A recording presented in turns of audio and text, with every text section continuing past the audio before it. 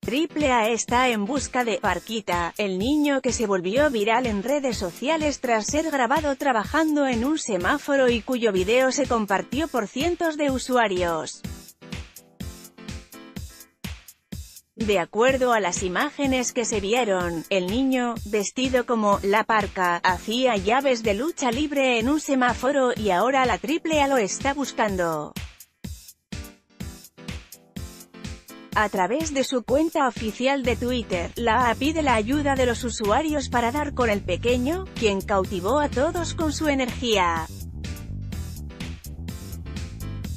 La empresa de lucha libre le tiene una gran sorpresa.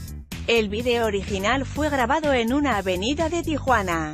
Hasta ahora, tiene casi un millón de reproducciones. En esta nota.